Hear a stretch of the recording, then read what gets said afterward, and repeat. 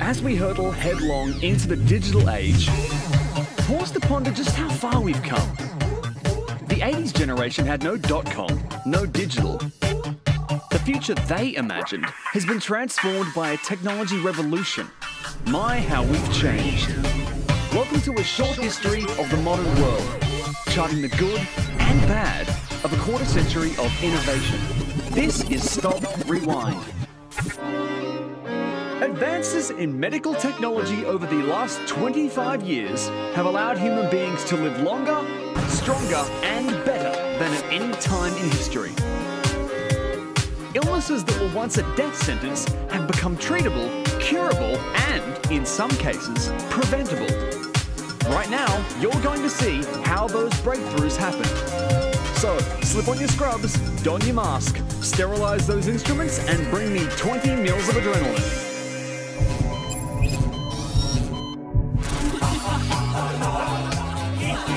It's often been said that laughter is the best medicine, but can you prove it? Well, two American doctors tried by tickling the funny bones of a bunch of people for an hour to see what effect it had on their bodies. Research on the stress has shown that stress suppresses your immune system. And so, with knowing that stress suppressing the immune system, we want to ask the question did uh, good stress or laughter have physiological changes that actually improve the immune system? Don't laugh. It's called psychoneuroimmunology, the study of how our state of mind affects our health. When blood samples from the test chucklers were analysed, they showed higher levels of good hormones and a drop in bad hormones. It seems that laughter, like sex, is one of the body's safety valves, a counterbalance to tension. So much so that laughter therapy, not the sex, became popular in cardiac recovery wards, replacing antidepressants and painkillers. One Australian doctor went even more left of field, suggesting a death defying antidote to modern stress. And this is it.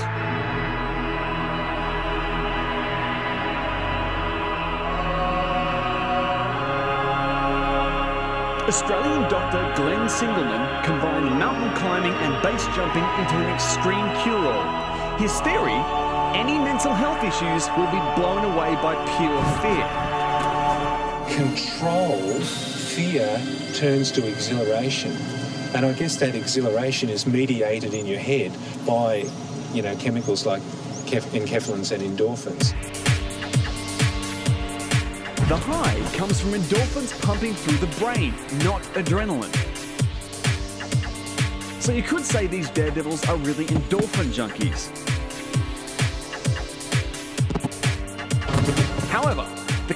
With using extreme sports to stay stress-free and out of hospital is that you're kind of likely to end up bruised, strained, fractured, and in hospital.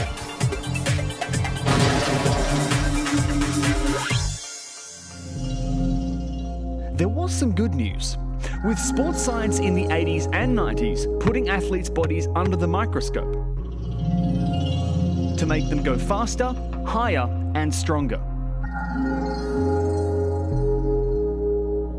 Some of these techniques may have been as painful as the injuries they were trying to prevent, like this muscle biopsy back in 1985. Yes, that's a metal skewer being stuck into that athlete's leg. Ouch. Though it's one hell of a motivator. Just imagine the coach. Hey, run another 100 meters in 10.5 or I'll do another muscle biopsy on you. Of sticking painful looking things into people, you guessed it, acupuncture. Today, it's accepted by most people in the West as an alternative medicine not too different to herbal remedies. Back in the 80s, it was seen as some kind of kooky kung fu wizardry. It took medical research at places like this university in South Korea to make people think twice. Procedures, like this one on a sprained ankle, release natural chemicals into the body that may help recovery. Doesn't make it sting any less though. Another remedy that struck a balance between the West and traditional cultures was this portable kidney dialysis system that was used by these Bedouin people. It involved a bag of glucose that ran into the body, which helped drain the toxins that a weak kidney couldn't handle. But these are far from being the most bizarre, painful, or strange medical developments doctors were toying with. Let's have a look at some starting at the top. Brain surgery. Just the thought of it makes most of us shudder, not to mention making your blood run cold. Literally, in the case of this man who needed an aneurysm operated on. Doctors chill the brain, stop the heart, and drain the body of blood. The patient will be clinically dead for nearly an hour. That's a hell of a way to save someone's life. Suspended animation has increased the success rate of these operations.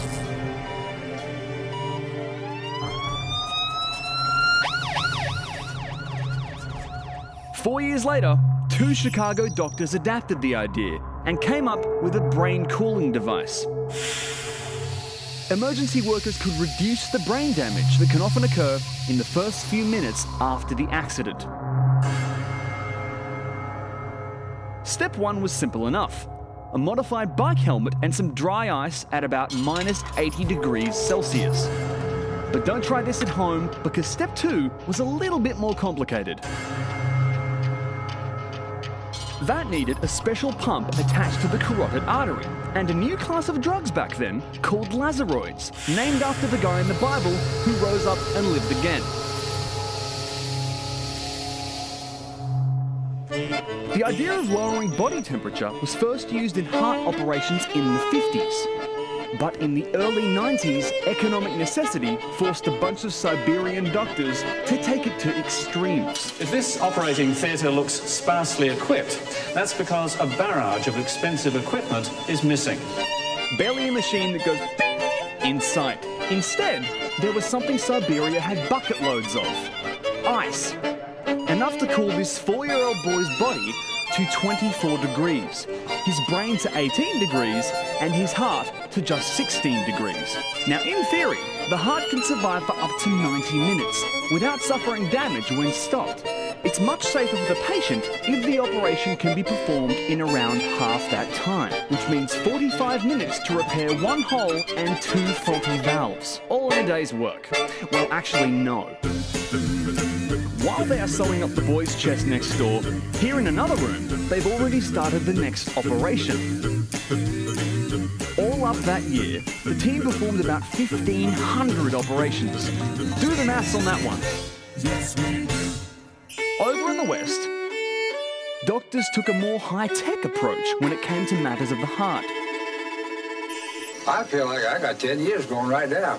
We hope you do. In 1985, William J. Schroeder became the second man to receive a Jarvik 7, the best known of the early artificial hearts.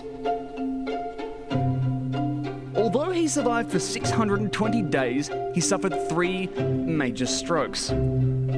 It sparked intense moral and ethical debate, but it didn't stop further research and development. As someone wise once said, why bother with a pound of cure when you can have one ounce of prevention? Or five fluid ounces to be more accurate. After you've had a sip of wine, you've probably noticed a tangy aftertaste in your mouth. Well, that's due to the flavonoids in wine, which give it its colour and flavour. But even better than that, they may protect our hearts against heart disease. The French, who drink around 70 litres of wine per head annually, have one of the lowest rates of heart disease in the world. And that's why a local company turned this into this a daily red wine pill, the equivalent of two glasses a day. This cheeky little number was actually made from wine pulp. Easy on the kidneys because it didn't contain alcohol, and good for the heart because it thins the blood. Given the choice between taking a capsule and drinking the real thing, well, I am in Paris after all. Votre santé. Which brings us rather conveniently to blood. Oh, come on, you can't make a medical show without spilling some blood. Anyway, it's not real.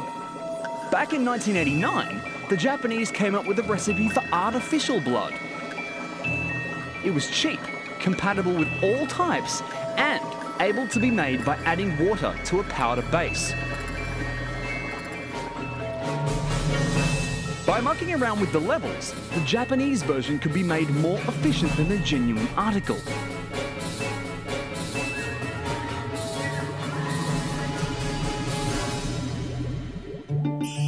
Israeli scientists were already one step better. These crystals are the bloody equivalent to instant coffee, freeze-dried blood. On the shelf, it could be stored at room temperature and last indefinitely. Theoretically, it would be used during transplant surgery or for extending the life of donor organs. Despite being developed over a number of decades, artificial blood is still to be perfected. However, there is one big advantage with it. It has no blood types. You can't get any problems in cross matching. It can be autoclaved. That means it can be totally sterilized, so there's no problems with virus, hepatitis, or AIDS, or what have you. And on the topic of AIDS, no illness gained more headlines over the past 25 years. AIDS is a disease right now which is 100% fatal. This virus does things we just haven't seen before, not only for viruses, but for all of biology. Maybe the cure will come along. Right. Maybe it won't. And if it doesn't, I'm one of the casualties of the war, if you would. By 1986, 25,000 cases of AIDS had been reported worldwide. Yet less than 10 years after it first came to prominence, scientists had not only identified the virus, but were already on the path to treating it. Sadly, though, we are still waiting for the big breakthrough. But there's been better news for another major killer a vaccine against cancer. It sounds like science fiction, but it's real. According to the World Health Organization, more than 48,000 people die each year from melanoma skin cancers. In 1990, a trial injected deactivated cancer cells into melanoma patients to create antibodies, and it had promising results. If the vaccine was successful here under trial conditions, then the next step would be to release it as a regular vaccine, but that's still to happen. Some techniques, though, were a little more unorthodox. Like this 1990 research, which suggested cuttlefish ink might be the latest weapon in the fight against cancer. That's right, cuttlefish ink. A Japanese scientist purified the ink and injected it into mice with tumours. To his astonishment, 60% of them recovered. The study is still in its early stages, but its findings will ensure that in the future, science will be as curious about these creatures as this one seems to be about me. Sadly, this inky new biro technology never went anywhere. So for countries where showing a bit of skin was all the rage, the challenge was still on to stop skin cancers caused by the sun. One research project looked at the natural method that tropical coral uses to protect itself from sun damage. It creates a natural sunscreen, avoiding any of the suspected side effects that they believed suntan lotions had back in 1987. Most suntan creams and lotions use amino-benzoic acid derivatives. Turnover, please. But at least one authority in the United States is now saying that although these creams may prevent sunburn, they can in fact cause skin cancer. Still, in a few years' time, who knows? We may be spreading artificial coral onto our backs. A few years later, and medical research went to the dogs. Literally. Meet Tangles, a two and a half year old Cocker Spaniel with a very important job. He's been trained to sniff out bladder cancer. Okay, his star's a little off the leash, but as you can see, he could sniff out the urine sample of a cancer patient from a lineup of samples from healthy patients. Tangles even detected cancer in a sample that was meant to be cancer-free. So they took the sample back to the hospital and discovered he had cancer of the kidney.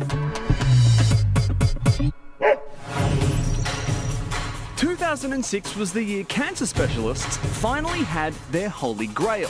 Specifically, a vaccine for the human papillomavirus, the cause of cervical cancer. Most vaccines are made by growing viruses in the lab, and that method wouldn't work for this one. The solution? A cunning plan to trick another virus into thinking it was the human papillomavirus. Take out the real viral material inside, inject the inactive outer shell, and bingo. The final clinical phase of the trials were completed back in 2005 with stunning results. The vaccine has proved to be 100% effective. The scientists also developed a vaccine for anyone who can't do without their regular fix of paint stripper, acid, insecticide, mothballs, and lighter fluid toxins, otherwise known as cigarette smoke. It was based on a new class of experimental drugs that create antibodies, which attach themselves to nicotine particles, making them too large to be absorbed by the brain. Will uh, save millions of lives worldwide. Not to mention making one Swiss company very, very rich. Four, five, six, eight. That little boy had problems with his vision, but back in 1985, they learnt how to fix problems like that one with a donated cornea from a deceased person. The transplanted part was sewn into the front of the patient's eye. It was safe, had a 90% plus success rate, and if anything went wrong, it could easily be removed. Within a decade, surgeons were experimenting with photoreceptors attached to the back of the eye to bypass damaged retinas. If you can replace eyes, why not noses and ears?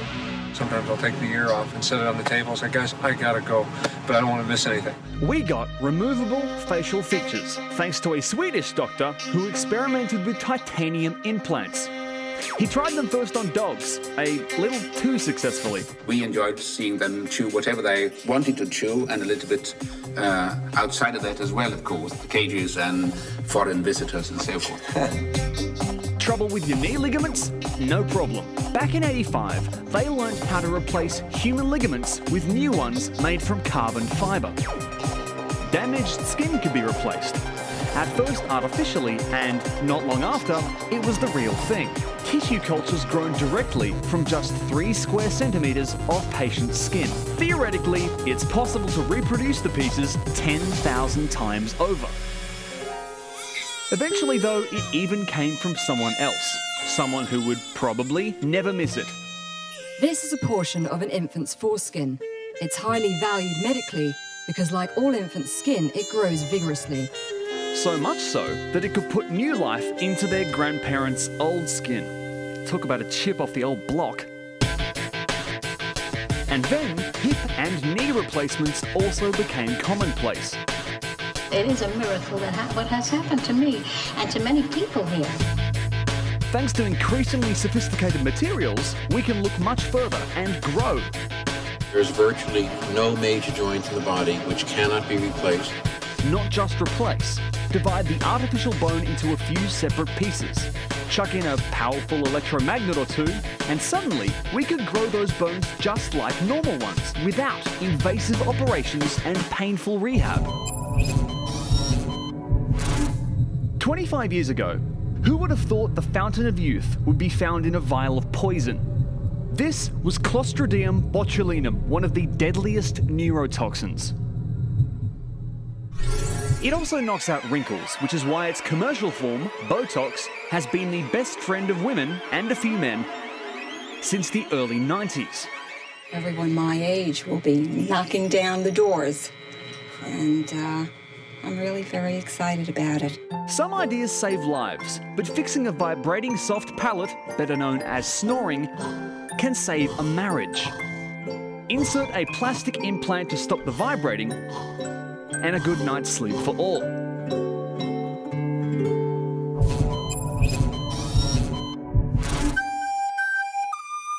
Perhaps one day, all diagnosis will be as much fun as this short lived innovation from the 80s.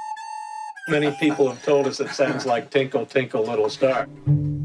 You've heard of musical chairs, but what about musical urine? That's right, setting a urine analysis to music in order to diagnose a body that's out of tune. Would be possible to produce a professional musical score of a urine that could be performed by a uh, chamber music uh, group or a string quartet or a full symphony orchestra, perhaps. I don't know. Eh, go ahead and laugh. Remember, it could well be the best medicine. It was good enough for Beethoven. Surely you've heard of his third movement? Here's another different take on something we've been doing since the birds and the bees first got together. The birthing wheel. Designed by a Swiss artist, it's a suspended chair that allowed women to position themselves how they wanted during birth. Men are very uh, much taken by the remote control and up and down and back and forward. They think this is great. Anything that's technical at all, remote control, they find absolutely fantastic.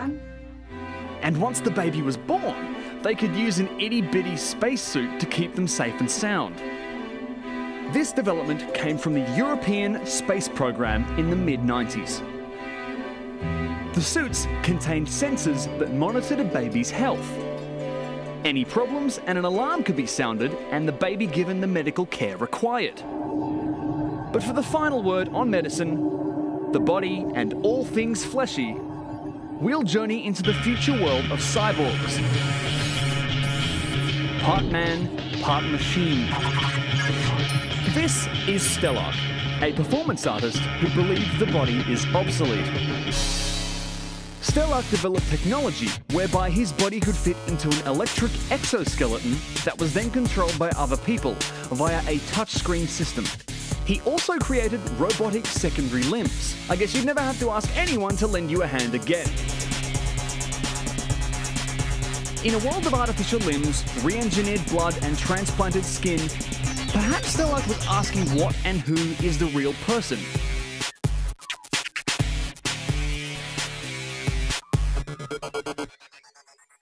Ten years later, and life imitates art, with cyborg limbs becoming a reality. An artificial leg that is remotely controlled by a sensor operating off the movement of the other leg. It's real and it works, far smoother than a normal artificial leg. This bionic leg, developed in Canada, even had a shock absorber system to make it react more like the muscles of a human leg. Scientists had started not only implanting parts for the body that were like the real thing, but putting in parts that were the real thing, freshly grown in the lab. And what we have here is uh, a heart valve. And you can see here this machine actually providing the action uh, for the heart valve. It's conditioning the heart valve. So when you implant it, it's ready to function. So it's strengthening the heart valve. It is strengthening Basically. the tissue as it's being formed, yes. It was a process that appeared simple. The cells for each organ were taken from the patient, then grown in a nutrient-rich environment.